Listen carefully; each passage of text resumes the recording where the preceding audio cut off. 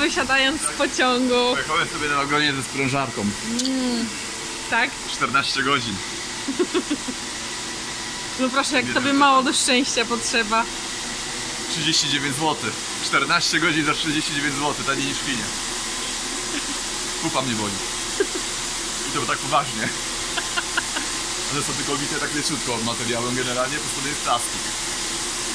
Chodźmy do domu. Dobrze. Thank you.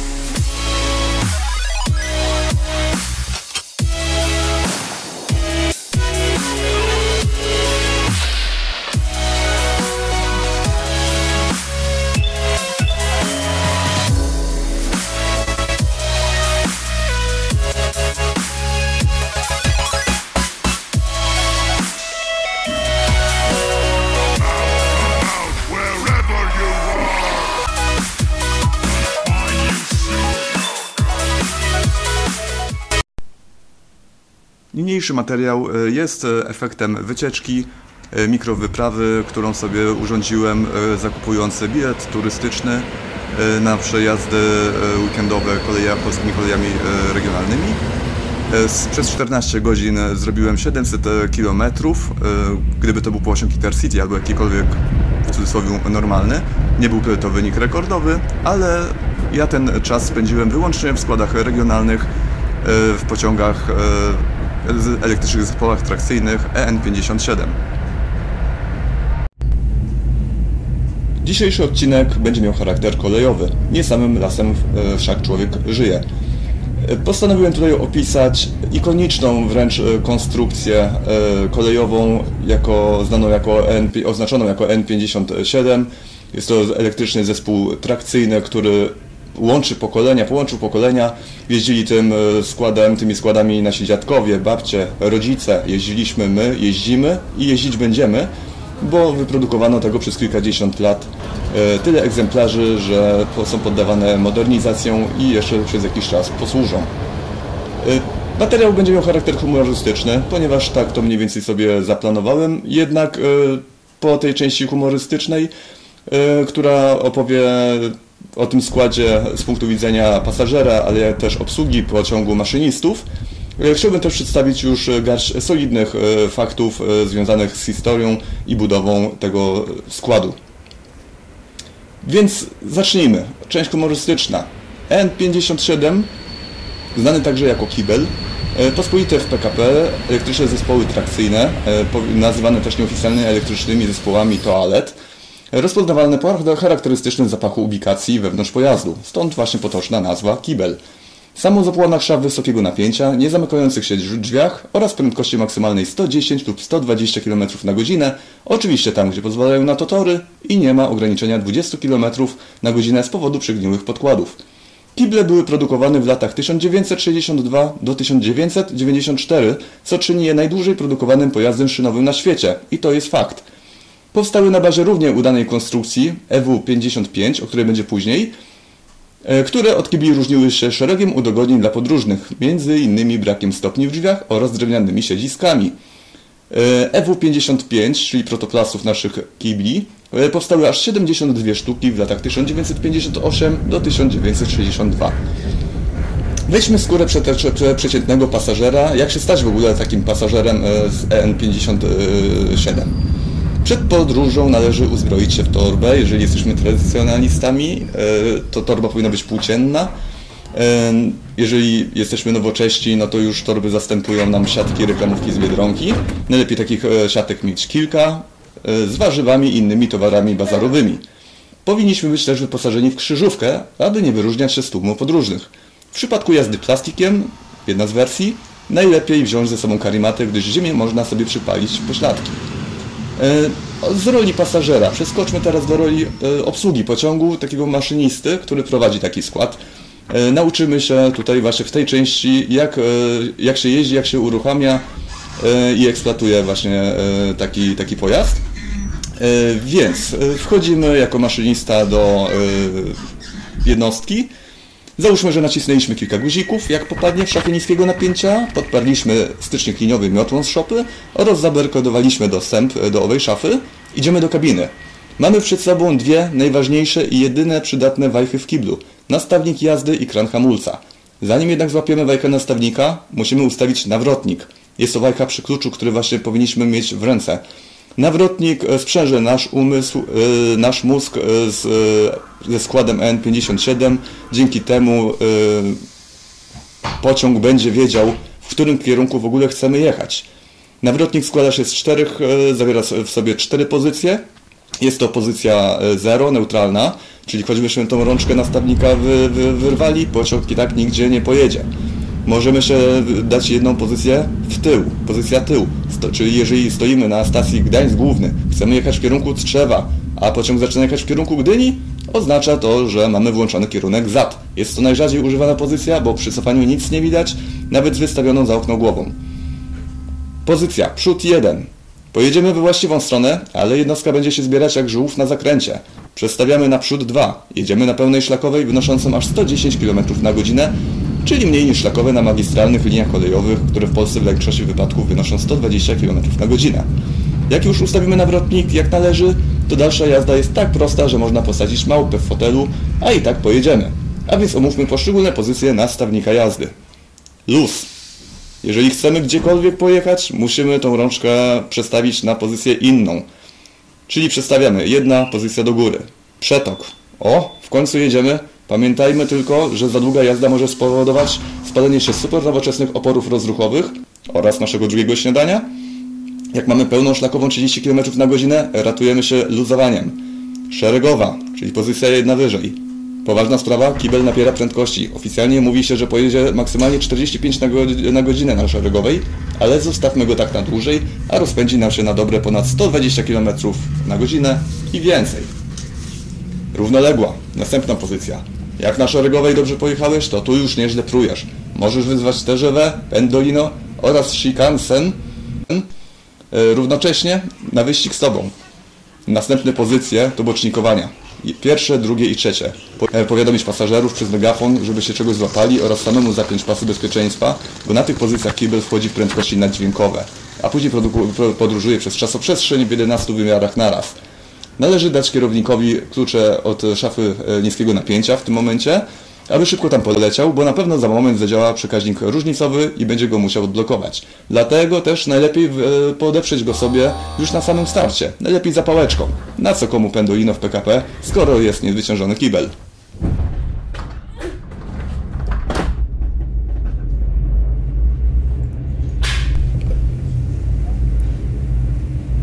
Historia zaczyna się we Wrocławiu w latach 60. Choć przy opracowaniu elektrycznego zespołu trakcyjnego EN57 trzeba sięgnąć jeszcze dalej, bo do roku 1958, kiedy to we wrocławskich zakładach Pafawak ruszyła produkcja EW55. Jednostka ta była przeznaczona do obsługi stacji z wysokimi peronami. Zastosowanie jej przewidziane wyłącznie w ruchu lokalnym w okolicach Warszawy i na Górnym Śląsku, bo jedynie tam istniały warunki trakcyjne umożliwiające efektywne wykorzystanie tych jednostek.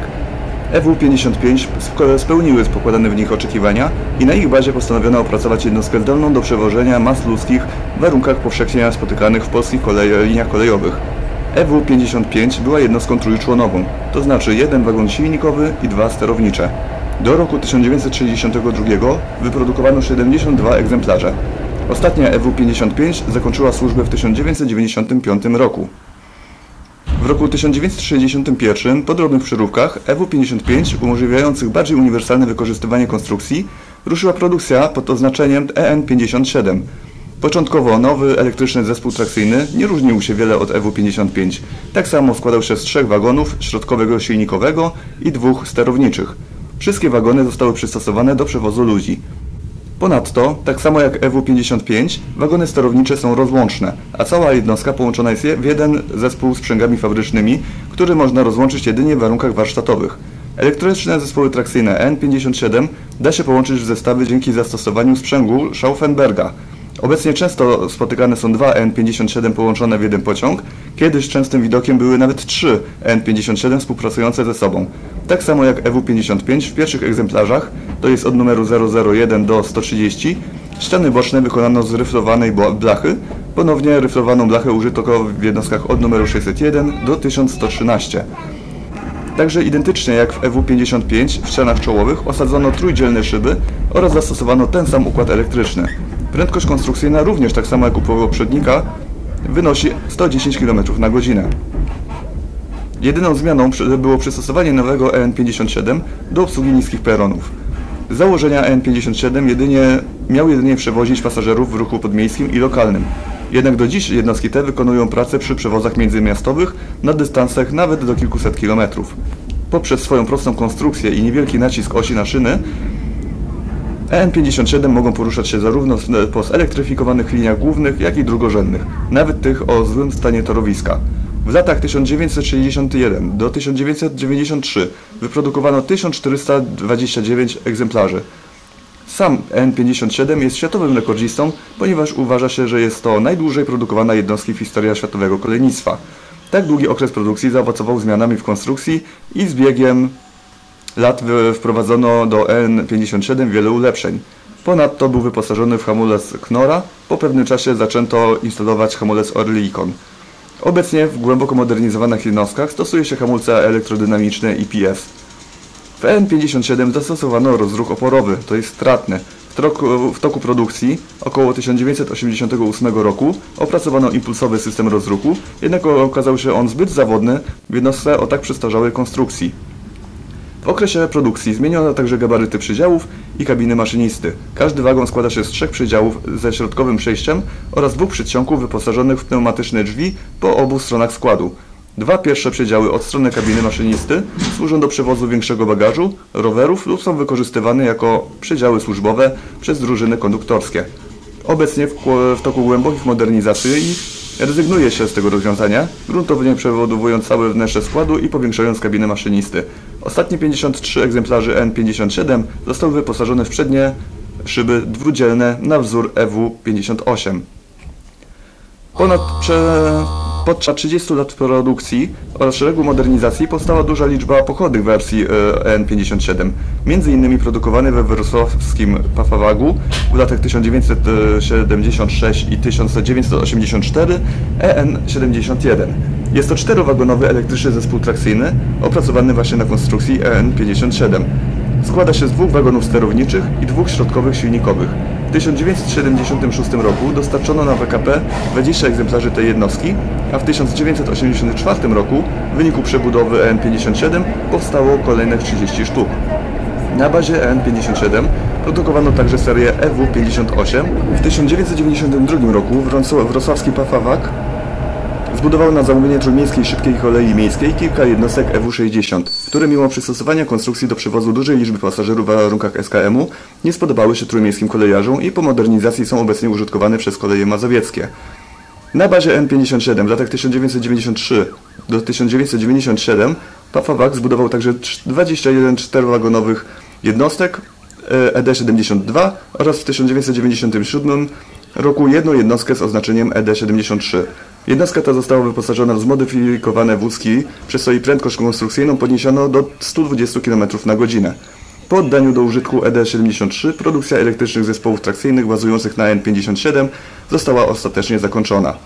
Na początku lat 60. kilkadziesiąt egzemplarzy EN57 zostało sprzedanych do Jugosławii. Miejscowi kolejarze nazwali jego mułkami. Także w latach 70. i 80. sukcesywnie sprzedawano N57 i N71 na Bałkany, gdzie są użytkowane do dziś przez koleje chorwackie i słoweńskie. Słoweńskie, Słoweńcy kilka swoich N57 sprzedali do Włoch i obecnie po modernizacji obsługują one szlaki północnej części kraju. Słoweńcy w latach 2000-2002 zmodernizowali swoje jednostki, montując w nich m.in. silniki Siemens AG. Chorwaci również gruntownie zmodernizowali swoje N57, przy czym kilka egzemplarzy zostało odesłanych z Chorwacji do Polski, obecnie użytkownikiem ich są koleje mazowieckie. Od 2006 roku, dzięki wsparciu finansowemu Unii Europejskiej, N57 są poddawane bardziej lub mniej zaawansowanym modernizacjom przez niemal wszystkie zakłady zajmujące się naprawą towaru kolejowego w Polsce. Po opuszczeniu zakładów naprawczych, najbardziej zmodernizowane jednostki dostają numer inwentarzowy zaczynający się od 2000 i tym samym jest to ich druga obsada. EN57 wraz ze wszystkimi pochodnymi stanowią obecnie na polskich kolejach najliczniejszą grupę jednostek przeznaczonych do przewozu osób. Są to jednostki przestarzałe, które swoim standardem dalece odbiegają od współczesnych norm przewozu ludzi. EN57 jest także konstrukcją mocno awaryjną i wymagającą intensywnej obsługi warsztatowej. Częstą awarią jest spalenie się bezpieczników instalacji elektrycznych przy dużej jeździe z prędkością do 40 km na Z racji na maksymalną prostotę konstrukcji i relatywnie niski koszt eksploatacji, N57 stanowią trzon taboru PKP przewozy regionalne. Użytkownikami elektrycznych zespołów trakcyjnych N57 są również koleje mazowieckie, warszawska szybka kolej miejska i trójmiejska szybka kolej miejska. Mimo wszystko problemowa obsługa przez maszynistów, niestaranne wykonanie, niewygodna jazda, duża awaryjność i wręcz archaiczna konstrukcja sprawiły, iż na kolei do tych jednostek przysługiwało o, przezwisko kibel, które w doskonały sposób ujmuje wszystkie ich charakterystyczne cechy.